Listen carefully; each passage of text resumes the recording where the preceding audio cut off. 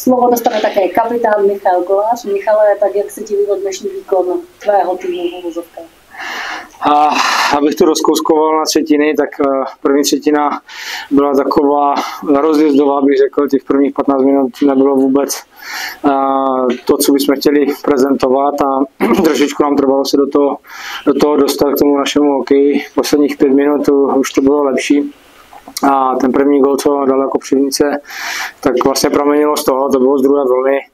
A, takže a, to vlastně vypovídá o tom, že jsme prostě nebyli být možná úplně skoncentrovaní a nebyli, nebyli jsme v zápase od začátku, tak jak bychom chtěli. A druhá třetina už byla lepší, tam,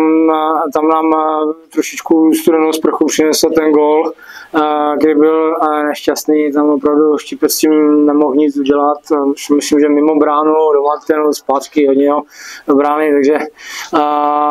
to, to nás trošičku lehce jakoby tak zamrazilo, ale zaplať tam bude na dlouho, že jsme se dokázali zvednout a, a dokázali jsme znovu prezentovat ten náš hokej a, a potom si myslím, že už i kopřivníci docházeli síly, myslím, že nebyli úplně v plné, v plné sestavě, co jsme věděli. Za mě, za mě jako super výkon, vyzobětavost, Mrvič, potom parádně, parádně hrála vlastně ta čtvrtá lajna mladíků, kdy, kdy dělali přesně to, co jsme od nich potřebovali a, a to bylo to, že si ty puky házeli za jejich obránce a, a pracovali na tom, aby jim brali co nejvíc sil. Takže, takže uh, za, to, za to pochvala uh, za, za ty mladíky. Uh, Middleton si myslím, že odehrál super zápas, tak to bych chtěl vyzvidnout, že, že, to, že, to, že, to je, že to je kučina mladý, ale, ale dokáže s náma hrát hokej a dokáže konkurovat, takže uh, myslím si, že super, že, že nám rostou i, i, i tady takový kluci a, a pracuje se na nich. a jinak uh, samozřejmě těsné až do konce.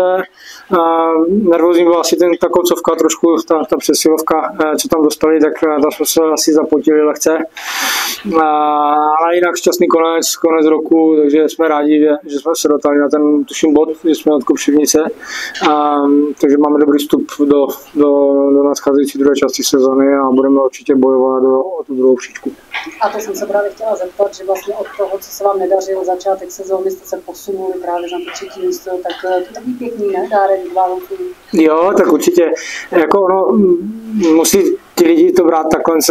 že, že ten tým je nově složený a, a máme tady spoustu mladých kluků, kteří nejsou úplně tak vyhraní uh, tím, tím seniorským hokejem a, a, a, já si myslím, že se to tušil, tuším, že jsem to říkal několikrát, že ono to chce prostě trpělivost, že všechno není hned a, a ti kluci prostě každým zápasem sbírají uh, ty zkušenosti a ví, jak ty situace mají řešit lépe, uh, než to řešili třeba předešlé střídání, kde tu chybu udělali, nebo to nevyšlo úplně ideálně. Takže uh, říkám, je třeba trpělivost a ten tým prostě si myslím, že na to, uh, vím, že je spousta očekávání, že, jo, že je tým jakoby z první ligy, ale, ale ten tým je poměněný a, a znovu pokud jsou tady mladí kluci, kteří prostě musí mít,